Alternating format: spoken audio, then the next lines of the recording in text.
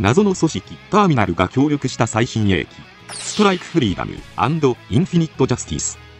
ZGMFX20A ストライクフリーダムガンダムおよび ZGMFX19A インフィニットジャスティスガンダムはテレビアニメ機動戦士ガンダムシードデスティニーで活躍した機体です。キラヤマトとアスランザラが登場することを想定して開発されておりコズミックイラ73年当時最高峰の性能を誇る機体として最終戦となるメサイア攻防戦まで戦い抜きました。今回はそんなストライクフリーダムとインフィニットジャスティスについて解説させていただきます。行くぞキラあ行こうアスラン！機動戦士ガンダムシードの舞台となるコズミックイラ71年。ザフトと地球連合の激しい戦火の中ザフトは核動力を搭載した機体であるフリーダムとジャスティスを開発しました。そんな中その後継機となるストライクフリーダムとインフィニットジャスティスの設計も進めます。しかしストライクフリーダムに関しては新規で搭載を計画していたドラグーンシステムと新型の高機動スラスターの開発が予定より遅れたため機体開発が思うように進みませんでした。またインフィニットジャスティスも当時は設計データのみの存在に終わりそのまま終戦を迎えました。その後この2機は戦争終結後に結ばれたユニウス条約のモビルスーツと兵器へのニュートロンジャマーキャンセラーの搭載禁止といういわゆる核兵器の使用禁止という内容に違反していたため、2機とも計画ごと開発が凍結されます。しかし、クライン派の秘密機関ターミナルにより、試作段階にあったストライクフリーダムの機体パーツと、インフィニットジャスティスの設計データが奪取され、以後、ターミナルの開発工場、ファクトリー内で、両機の開発は続けられることになりました。なお、マスターグレード、デスティニーガンダムの説明書によると、ターミナルは、データを手に入れた際に、ザフト開発局のサーバーから設計データを削除していたとされているため、ザフトがこの2機を作ることはできないと思われます。ターミナルとは、前大戦の最終決戦である第2次ヤキンドゥーエ攻防戦において、地球連合による核攻撃とザフトのジェネシスによる攻撃が人類の根絶戦争にまで発展してしまったことから戦争に介入し戦争を止めることを可能とする組織として地球連合プラントの非戦派が集まって結成された非政府組織ですヤキンドゥエ中域の戦闘で活躍した三隻同盟の流れを組んでおり、ナチュラルとコーディネーターの共存を出張するため、プラントからは、主に、クライン派に属していた人物が参加しています。第2次ヤキンドゥエ攻防戦終結後、プラントは、ギルバート・デュランダルを議長として、目覚ましい復興を遂げていきましたが、デュランダルのような優れた権力者の暴走を危惧したターミナルは、不測の事態に備えて、密かに活動を継続していきます。その一環として行われたのがストライクフリーダムの再開発ですターミナルはザフトと地球連合との対立が深まるとともにフリーダムをもってしても対抗しきれない最悪の状況に陥った際にその状況を打開するための圧倒的な火力を持つ機体が必要であると考えていましたそこでダッシュしていたパーツをベースに短期で大多数の敵部隊の制圧を行う緊急距離対応の万能機体として再設計されますもともとザフトはストライクフリーダムを大火力によって敵を殲滅する量産機として設計していましたが約2年の歳月をかけキラヤマトの登場を前提としてフリーダムの運用データを投影しチューニングが施されました。こうしてストライクフリーダムはハイスペックの限りが追求されたことにより量産という発想からはかけ離れたキラヤマトだけが操縦できる専用機として完成しました。これでまた戦える。僕の戦いを。本機は、セカンドステージシリーズ4の最新技術も各所に取り入れたことで、フリーダムの数倍に値する超高性能化に成功し、コズミックイラ73年の最新鋭機である、レジェンドやデスティニーに匹敵する、当時最強クラスのスペックを誇る機体として完成しました。装甲に関しては、マスターグレード、ストライクフリーダムの説明書によると、外部装甲を細かく分割し、内部骨格の動きに連動してスライドさせる機構を採用したことで、より人間に近い動きをすることが可能となっています。本機構を採用することで走行の間に隙間が発生し防御力が低下するというデメリットを抱えていますが運動性の向上による利点の方が大きいと判断され導入に踏み切ることになりました。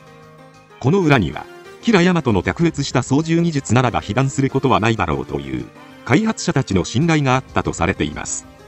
またむしろこの構造を採用していなければ機体がキラの反応速度に追従することができなかったともされています。内部骨格部材にはフェイズシフト走行が採用されていて内部走行はアクティブ状態では金色に発光します。これは各部のエネルギーがフェイズシフト走行から光として漏れ出す現象とされており核動力による潤沢なエネルギーがゆえの現象だとわかります。ストライクフリーダムは初戦でグフイグナイテッドのヒートロッドにつかまれた以外一度も被弾することはなくさらにこのような設定から装甲を捨てて機動性を高めた機体として語られますが外部装甲にはバリアブルフェイズシフト装甲内部フレームにはフェイズシフト装甲が採用されていることから実際はむしろフリーダムよりも実弾兵器に対して強くなっていると考えることもできます。また背部の機動並走ウィングにスターゲイザーに搭載されていたボアチュール・リュミエールの技術を発展させた高水力スラスターを導入することで高い機動力をもたらしました。なおマスターグレード版の説明書などではスーパードラグーン射出後はこのスラスターを最大限活用することができるとされているため重力下ではその高い機動性を最大限発揮することができないと思われますがパーフェクトグレードや HGCE などでその設定の記載がなくなっていたり HD リマスター版では大気圏内で光の翼が出ているような描写が見られたりと色々と大人の事情が見える兵装となっています。武装面では頭部の近接防御機関砲に始まり高エネルギービームライフル2丁を持ちます。前後に連結することで長射程高出力になりますが劇中ではビームシールドで防がれています。両腰にはクシフィアス3レール砲を装備しておりこれは電磁レール砲なので実弾兵器となります。ビームライフルを両腰にマウントするとレール砲が背部にスライドするので使用できなくなりますが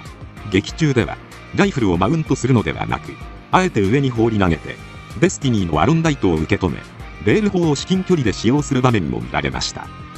またビームサーベルラックとスラスターユニットにもなっており両側にシュペールラケルタビームサーベルが備えられています。ビームサーベルは2機を連結させたアンビデクストラスハルバードとしても使用できますが劇中で使用されるシーンはありませんでした。腹部にはカリドゥス複相ビーム砲が搭載されておりコックピット直下にあるのでコックピットとの遮断防壁が完備されています。劇中では戦艦を一撃で落とす威力を持つデスティニーの高エネルギー長射程エネルギー砲と互角の威力を見せつけています。スーパードラグーンはレジェンドなどに採用された第2世代ドラグーンをベースに開発されていますが第2世代ドラグーンがあらゆる兵士に扱える普遍的な兵装を目指したのに対しスーパードラグーンはマルチロックとドラグーン誘導の並列処理をパイロットに要求するためキラヤマトにしか扱えない兵装とされています。また両腕にビームシールドを装備しています。こうしてストライクフリーダムは核動力を生かした高機動力と豊富な射撃兵装を持ちさらに関節を含めたフェイズシフト走行による実弾への高い耐性とビームシールドでビーム系の兵装にも対処できる性能を持った機体として完成しました。このバカ野郎！次にインフィニットジャスティスです。本機はザフトでの開発データがベースとなっているもののキラが開発を主導しアスランの登場とストライクフリーダムとの連携を前提とした運用を念頭に置いた調整がされて完成したので実質的にはターミナルのオリジナル機ともいえる機体として完成しています。ただし作中の時系列で考えると小説版でキラはおののので襲撃された時に初めてフリーダムが修復されていたことを知ったとされているためおののの襲撃以降で新型機であるストライクフリーダムとインフィニットジャスティスの開発に携わっていることになります。しかしストライクフリーダムの開発には2年の歳月がかけられておりさらに劇中でキラが宇宙にある開発拠点ファクトリーへ訪れる描写もないためどの段階でキラがインフィニットジャスティスの開発に携わったのかは不明です。本機もストライクフリーダムと同じく核エンジンを搭載しておりジャスティスの数倍の性能を誇る高性能機となっています。ちなみに同時期に登場したデスティニーやレジェンドの型式番号は ZGMFX42S と ZGMFX666S となっていてザフト機の場合核搭載機の型式番号の末尾は A になるところを核の使用禁止を謳うユニウス条約違反を隠す政治的配慮のため S にしていますしかしストライクフリーダムとインフィニットジャスティスの型式番号は ZGMFX20A と ZGMFX19A とされていて末尾がアトミックすなわち核を表す A なので、格闘再起ということを隠す気が全くありません。書籍、機動戦士ガンダムシードデスティニー、オフィシャルファイル、メカ編ボリューム3によると、ターミナルは、各方面と情報交換をしている非政府組織で、各国政府の情報機関並みの情報力を持ちながらも、どの陣営にも属さず、どちらかといえば、ラクスやアークエンジェルに、好意的な勢力とされています。そのためユニウス条約が適用されず、さらに核を使用していても、どの国からも文句を言われない組織なので、ターミナルが開発したストライクフリーダムとインフィニットジャスティスは、型式番号に、堂々と核搭載機ということが表記されているとも考えられます。インフィニットジャスティスは、ストライクフリーダムと同じく、フレーム部分フェイズシフト装甲素材を採用したことで、対弾性や機体の耐久性が増強したため、アスランが得意とする格闘戦で強みを発揮します。武装としては、まず、バルカン砲として、頭部に4門の近接防御機関砲と、胸部インテークの上下に4門の CIWS を装備しています。劇中で使用する描写はありませんが、フェイズシフト走行でない相手であれば、近づくだけで蜂の巣にされそうです。射撃兵装は、他に、高エネルギービームライフルや、ファトゥム01に搭載されたハイパーフォルティスビーム砲といったものしか持ちませんが、本機は、豊富な格闘兵装を持ちます。ストライクフリーダムと同じ、シュペールラケルタビームサーベルに加えて、膝からつま先にかけて、グリフォンビームブレイドを装備。劇中では、デスティニーのフラッシュエッジ2を蹴り飛ばしたり、インパルスやデスティニーを破壊する印象的な武装となっています。複合防盾兵装のビームキャリーシールドには、ビームシールドに加えて、グラップルスティンガーとビームブーメランが搭載されています。グラップルスティンガーは、アニメ内では、オープニングで射出するも、デスティニーに回避されただけですが、漫画版では、これで、デスティニーのアロンダイトを取り上げるのに使用されています。ビームブーメランは、投擲だけではなく、ビームサーベルとしても使用されます。劇中では、投擲により、インパルスの脚部を破壊し、ビームサーベルとして使用しては、デスティニーの右手を破壊していました。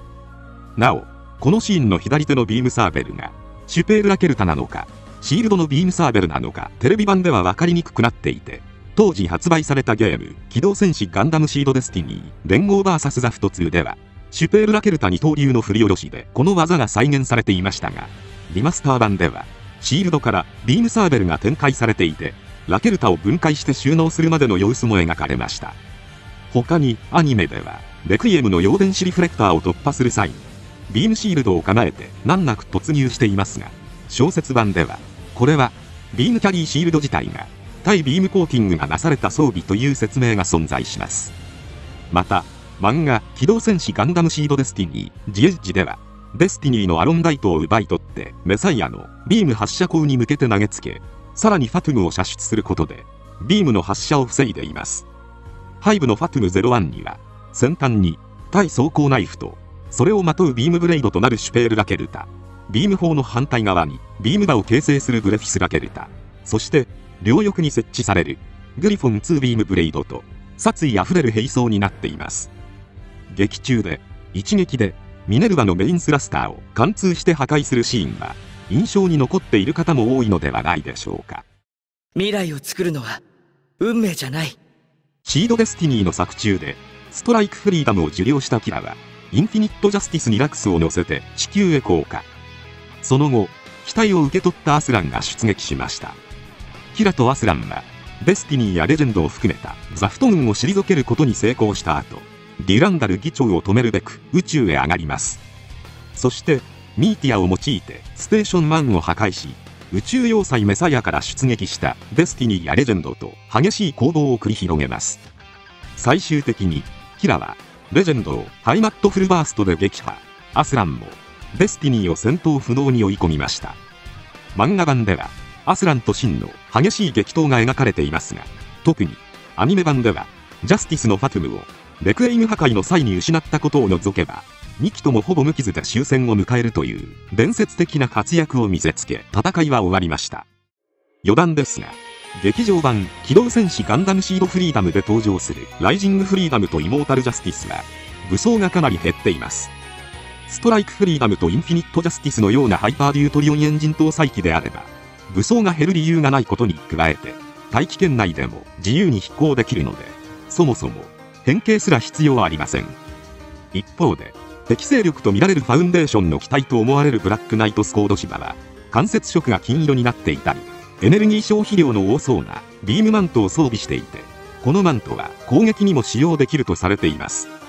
こういった点を踏まえるとファウンデーションは地球連合軍から独立した組織なのでストライクフリーダムやインフィニットジャスティスの技術情報を持っていることはもちろん自分たちはその技術を応用した核エンジン搭載機を使用していると考えることもできそうです。というかブラックナイトスコード自体が本来の量産型ストライクフリーダムを形にした姿なのかもしれません。逆にキラたちがザフトと地球連合とオーブの協力下で結成したコンパス部隊所属ということからユニウス条約を守っていると見せる必要があるので核エンジン機を使用していなくても不思議ではありません。ファウンデーションのパイロットたちの技量の高さが分かりませんがキラはストライクルージュでザクにやられていたのでライジングフリーダムやイモータルジャスティスがバッテリー機でブラックナイトスコードが核エンジンを搭載した高性能機であればキラたちがその性能差もあって破れるといったこともありえそうです。さらにブラックナイトスコードは無人機のジンや銀を随伴させるということも分かったのでシードシリーズのアニメ本編では初となる無人機が鍵となり物量作戦でキラたちを追い詰めていくことになるのかもしれません。またライジングフリーダムとイモータルジャスティスはオーブが設計した新型機ということが明かされたのでストライクフリーダムとインフィニットジャスティスはターミナルの工場であるファクトリーに保管されていて後半で登場するという展開が見えてきたのではないでしょうか。劇場版はどうなるのかぜひ皆様の意見もコメントで教えていただければ嬉しいです。どれだけ血と涙を流せば戦いが終わるのだろう。今回は以上となります。チャンネル登録されるかはお任せいたしますのでもしよければもう一本動画を見ていただければとても嬉しいです。最後までご視聴いただきありがとうございました